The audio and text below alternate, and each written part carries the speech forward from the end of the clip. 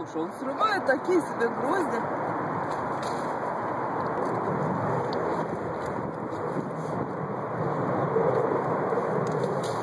Ну що воно пише чи не пише?